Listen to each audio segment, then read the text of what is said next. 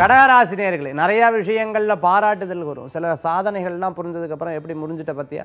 அப்படிங்கிற ஒரு தைரியம் என்னன்னு இருக்கும் ஆனால் ஒரு விஷயத்தில் அனுபவம் ஏற்படுற வரைக்கும் கொஞ்சம் கஷ்டமாக இருக்கும் அதுக்கப்புறம் பார்த்துட்டோம்னா நிச்சயம் வெற்றி பெறும். இத்தனை நாள் இருந்த பிரச்சனைகள் இனிமேல் வராது. கடனுக்காக கடன் வாங்குறது அறவே தவிர்த்துக்கிறது நல்லது.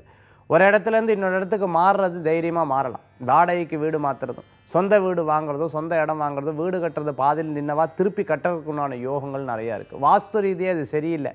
வேற மாற்றணும் நியூமராலஜி பிரகாரம் என்னோடய பேரை மாற்றினா நிச்சயம் வெற்றி பெறுமா? இந்த மாதிரி ஜோதிஷ ரீதியான ஆய்வுகளில் இருக்கிறவாளுக்கு நிச்சயம் வெற்றிகள் உண்டு. இன்றைய தினத்தில் பரிகார காரியங்கள் லாபங்களை கொடுக்கும்.